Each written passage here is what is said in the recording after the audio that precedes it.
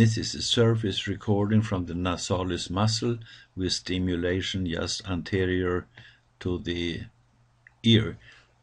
3 hertz stimulation and you see how the amplitude decreases from the first to the fourth and then it starts to increase a little again.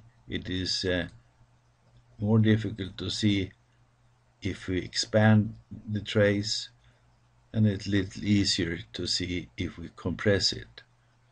And here we can superimpose all the signals and you see that the only thing that changes is the amplitude.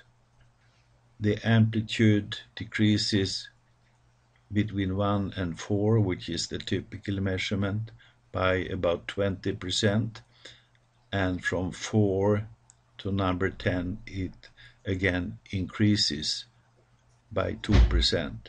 This saddle shape is typical for myasthenia gravis.